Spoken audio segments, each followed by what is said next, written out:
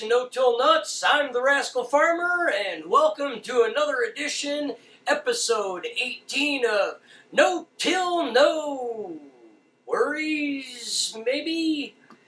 I don't know. I got some video I'm going to show you here from a couple days ago. I kind of freaked out just a little bit. Um, we've had some death. Uh, we had some bugs.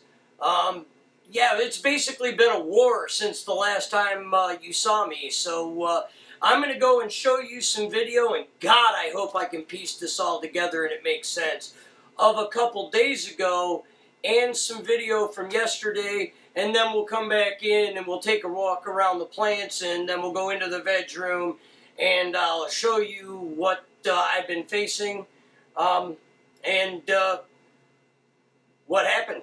So, uh, yeah, without further ado, I'm just about ready to flip the switch on these things and flower them. I am about stinking ready. They're ready. They look good. Um, we're going to see what we can do about these uh, thrips. Thrips! I hate thrips. Alright, let's go show you some video. You know, even when they're doing really good, you can run into an issue. And I was over here doing some leaf stripping, and I started noticing. I don't know if you can see that. Yeah, there you go. See the little marks there in the leaf?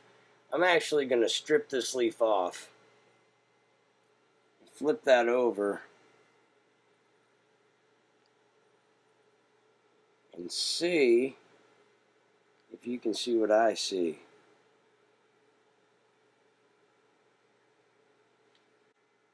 See him? Thrip. Damn thrip. So, I'm mixing up a 4 ounce per gallon dose of Method 1. And I'm going to come in here and I am going to blast this room.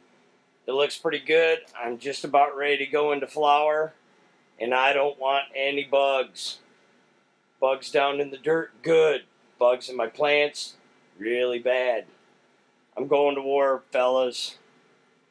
Thrips, you're gonna die.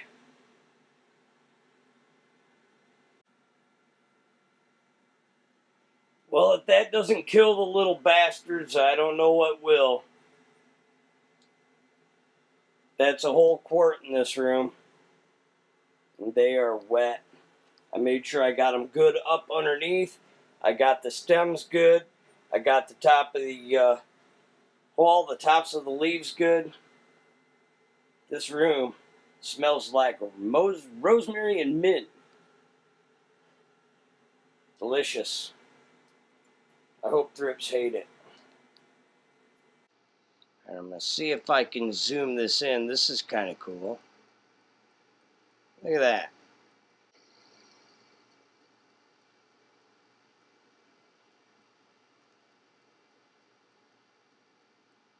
Dead.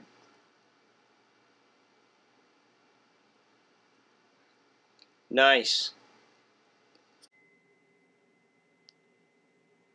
Okay, so all of that thrip BS all took place a couple days ago, and I hosed them down with that method one, and now you look at them, and they look good.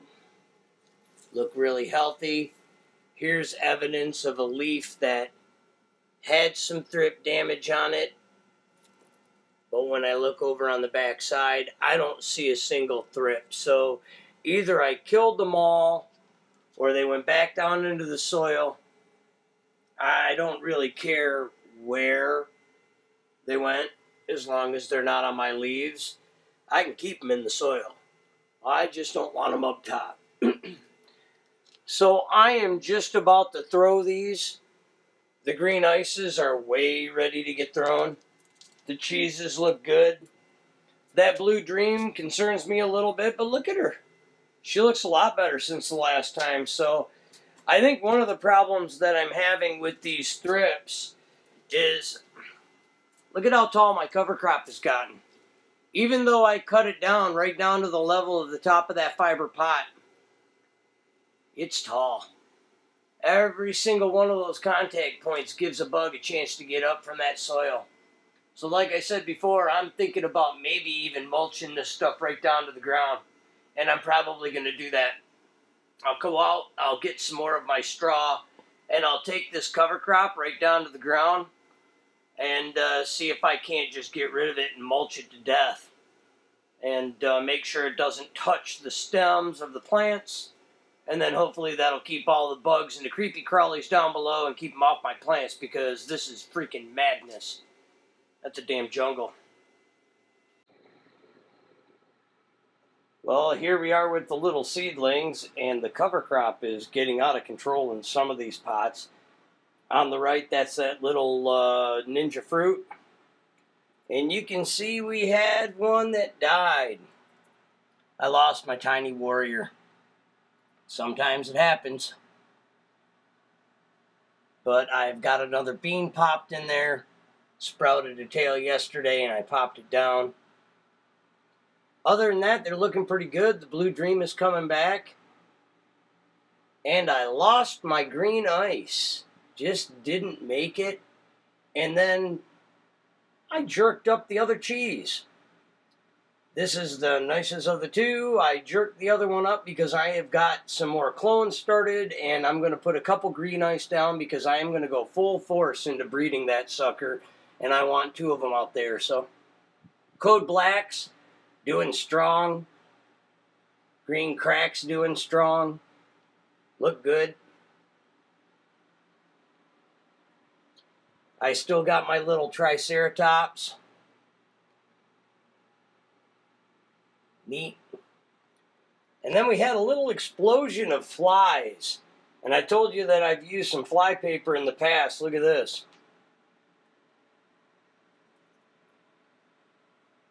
Fly paper. I don't know what it was. Little fruit flies or something. Must have popped out of my soil. But, oh man. I wiped them out. Bredus interruptus. Roughly translated, kill you bastards dead. All right, guys. Well, that's about it for this week. We'll give you one last look around the main room, and then we'll finish her up.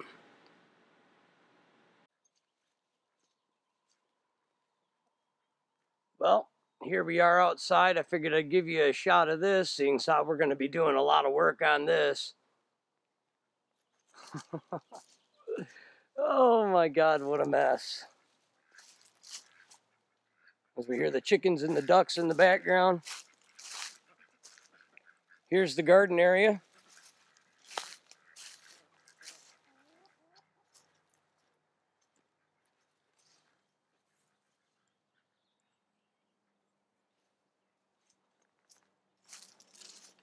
See if we can get a view in there.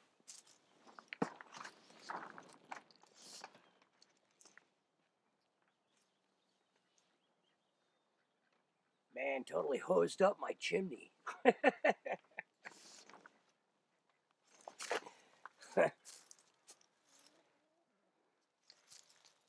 well, so this is the garden area, the family garden. We have a little walk-through fence. That right there, that mound is a four-year-old hugelpile that is a hole that was like four foot deep. This used to be an orchard, and they took some trees out, and there were some holes here. I filled them up with stumps, covered them up with good dirt, and that is an incredible, incredible little uh, mound there for growing.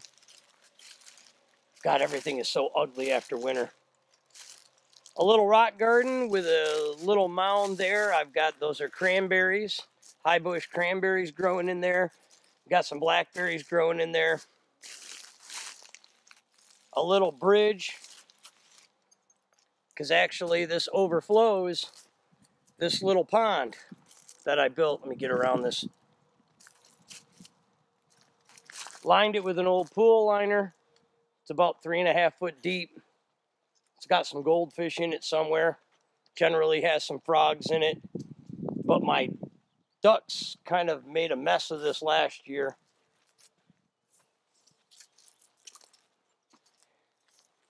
Back side of the greenhouse.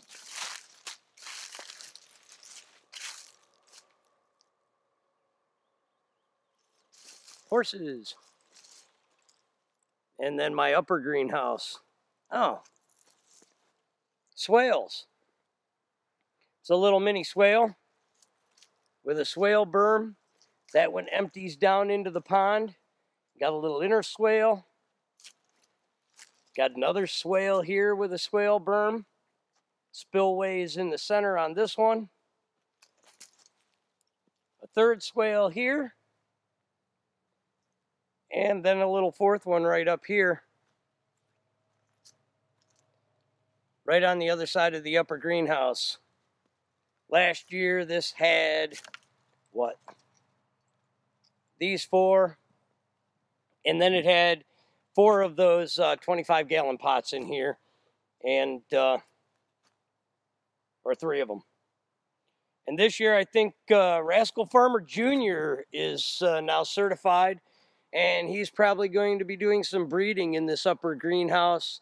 Um, he has a uh, some little super lemon haze started, and he thinks he's going to run some haze and see what he can't do. Doing some uh, run some mothers over here, and then uh, start doing a little breeding over here on these pallets in some smaller five or ten gallon pots.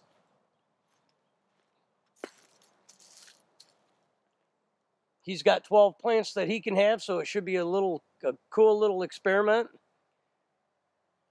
You couldn't even walk through there last year. Those pots were huge. All right, let's go take a walk down and we'll uh, go inside the greenhouse and show you how bad it is.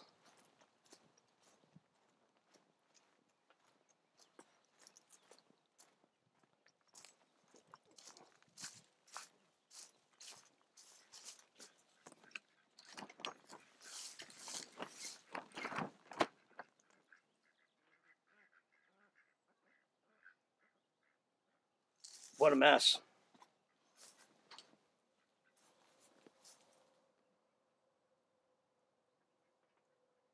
Just crashed right down on my pots.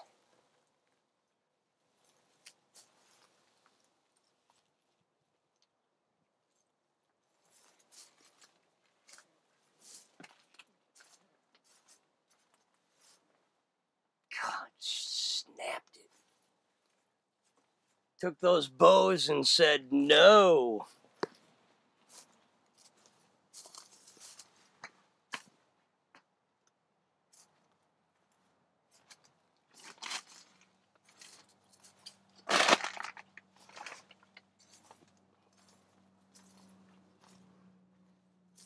The wood stove where I spent many a night.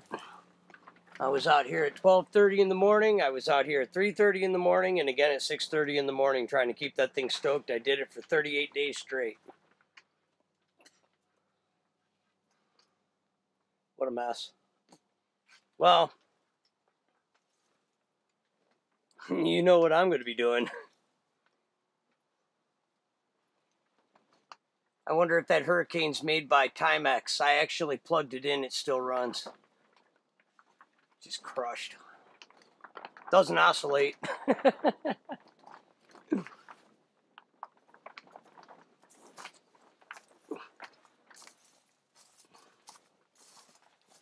well, that's it. What a mess.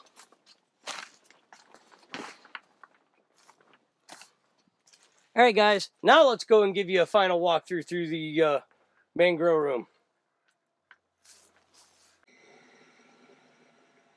So here we are back in the main room. I gave them a gallon of water. They're happy. Happy, happy cheese. And I decided that uh, what I'm going to do here is I'm going to leaf strip the very first cheese. I'm also going to leaf strip the middle cheese. I know I said that uh, I had posed the question, should I not leaf strip one?